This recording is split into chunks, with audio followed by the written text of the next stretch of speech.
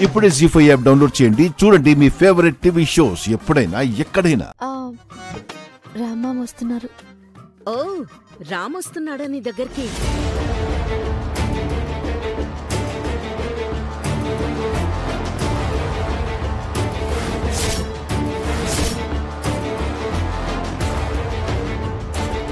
మీ పడకింటి ప్రేమ పక్కపక్క ఇళ్ళలోకి షిఫ్ట్ అయిందనమాట enjoy Sita. Thank teacher.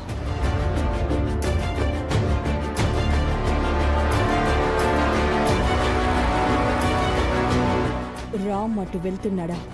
ఆ సీత వైపు కన్నెత్తి కూడా చూడొద్దు అని చెప్పాను. అయినా ఎలా వెళ్తున్నాడు? వీడు నా కొంప ముంచేలా ఉన్నాడు. సీత? ఏంటి మామ ఇలా వచ్చావు? నీ తెలివే తెలివి సీత. సూపర్గా ప్లాన్ చేసావు. ఈ ట్విస్ట్ని నేను అస్సలు ఎక్స్పెక్ట్ చేయలేదు. నా మామకు దూరంగా నేనెందుకు వెళ్తాను? అందుకే ఇలా ప్లాన్ చేశాను. నువ్వు ఊరెళ్ళిపోయావని! నాకు నైట్ అంతా నిద్ర పట్టలేదు తెలుసా? నాకైతే ఆకలి కూడా వేయలేదు మామ.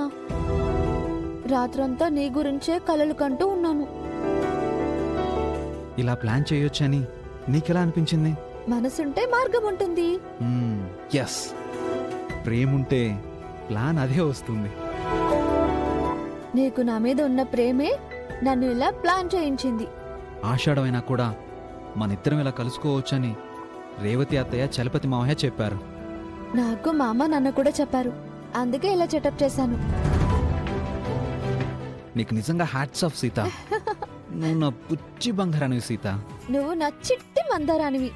నువ్వు నా రవ్వ లడ్డువి. నువ్వు సన్నుండవి.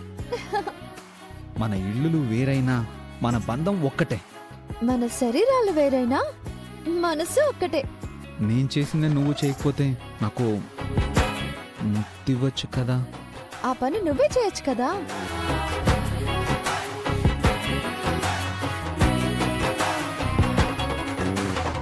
రామ్ ఆ, show, show, show, show, show, show, show, show. ఏం చేస్తున్నారు ఇద్దరు? ఆ పిచ్చుకల్ని తోలుతున్నాను పిన్ని. ఆయన తోలిన పిచ్చుకలు? ఇటు వస్తే నేను అటు తోలుతున్నానత్తా. ఆపండి మీ నాటకాలు.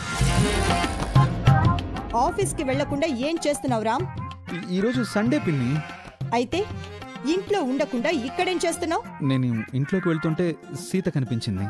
ఆ, ఇంటి రెంట్ ఎంత అని అడుగుదామని వచ్చాను. అదంత అవసరమా ఇప్పుడు? రెంట్ ఎంత అయితే నీకెందుకు? కోడలంటే మీకు ఎలాగూ ప్రేమ లేదు. భార్య ఉండే ఇంటి అద్దె తెలుసుకోవడం భర్తగా ఆయన బాధ్యత కదత్తా? పుట్టింటికి వెళ్ళమంటే పక్కింట్లో ఉన్నావు నువ్వు బాధ్యత గురించి మాట్లాడుతున్నావా? సీత మన ఇంట్లో ఉంటే ప్రాబ్లం కానీ పక్కింట్లో ఉంటే నష్టం లేదు కదా పిన్ని. ఇది ఆషాఢమని మర్చిపోయావా రామ్? భార్య భర్త కలిసి ఒకే చోట ఉండకూడదు. మేం కలిసి ఎక్కడున్నాం మా మధ్య పెద్ద అడ్డు కూడా ఉంది కదత్తా. జీ ఫైవ్ యాప్ డౌన్లోడ్ చేసి అన్ని ఎపిసోడ్స్ పూర్తి ఉచితంగా చూడండి.